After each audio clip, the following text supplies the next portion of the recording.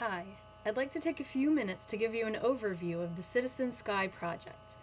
Citizen Sky is a new citizen science project spearheaded by the American Association of Variable Star Observers, or AAVSO.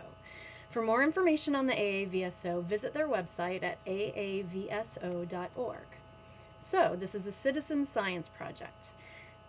What exactly is citizen science? I think that's a good place to start. Uh, citizen scientists are volunteers, many of whom have no prior scientific training, who work with trained scientific researchers to answer real world questions. This means you. For the next three years, the Citizen Sky Project will focus on a very interesting, very bright star named Epsilon. This star is bright enough to be seen with the unaided eye in even the most light polluted cities. So this means you don't have to go out and buy a telescope to look at this star. Epsilon Aurigae is a variable star.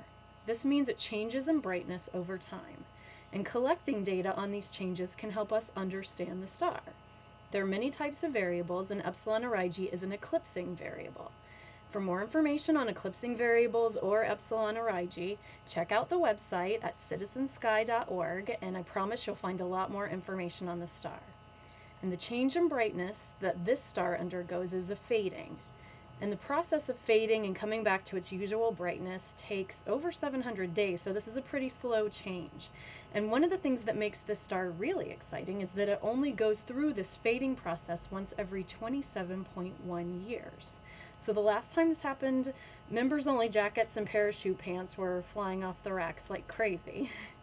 And some things about the way that this star fades and then regains its brightness are still puzzling astronomers after over 175 years of study. The next eclipse of Epsilon Aurigae is predicted to begin in August 2009. And we need you to help us collect data so we can better understand the star. Because the star is really bright, it can be observed by anyone, regardless of background, training, or equipment. With just a good pair of eyes and a finder chart, which we will give you, you can monitor this eclipse.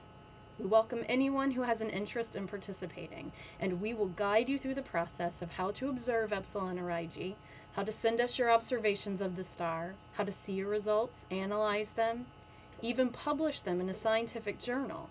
No previous experience is required, and we hope that this will be the largest citizen science project in modern history that involves real, active research. I'd like to take a few minutes to talk about some of the resources we have available to you. Sorry about that. Um, apparently my cat is also very interested and excited about Epsilon Aurigae, and I had to cut there for a second. Um, first of all, the website. Our new webpage will be launching in June 2009. Over the next two months, we'll be adding even more features, and throughout the project, we'll be adding articles, updating the blogs, and adding new tools. This site will serve as the home base for anyone interested in participating in the project. We invite you to read up on Epsilon Aurigae and the Citizen Sky project. Stay up to date on recent developments by reading the blogs. Download and use the training materials. We invite you to register and participate in the discussion groups. Coming up soon, you'll be able to submit data, view data, and analyze data, plus much more in the following months. We also have a couple of workshops coming up. We have a three day workshop focused on observing, education, and public outreach, which will be held at the Adler Planetarium in Chicago August 5th, 6th, and 7th, 2009. There will be a second workshop focusing on data analysis and scientific paper writing at the California Academy of Sciences in San Francisco during the spring of 2010. Prior to each of these workshops, we'll have an application form posted on the Citizen Sky website. After each workshop, Video of all of the workshop presentations will be posted on the website, so even if you can't attend, you can benefit from these talks. Epsilon Aurigae is an ideal target for those interested in learning how to observe variable stars. By following the 10 star tutorial, available right now on our website, a new observer will be trained in the technique needed to make and report a variable star estimate. Information on taking digital observations of Epsilon Aurigae, for those of you who are a little more advanced, are also available on the Citizen Sky website. We're developing data analysis software, which will come with tutorials to help train you in the basics of astronomical data analysis. And a special edition of the peer reviewed Journal of the AAVSO will be dedicated to papers written by project participants, like you. The brightness of this star provides a rare opportunity to engage the general public in citizen science. Participants are needed to help write newsletter and newspaper articles, uh, prepare talks and slideshows, develop artwork, to give talks and participate in other forms of community outreach. Teams of interested participants with complementary skill sets are being assembled right now. For example, um, teaming up a science writer with an illustrator to work on an article.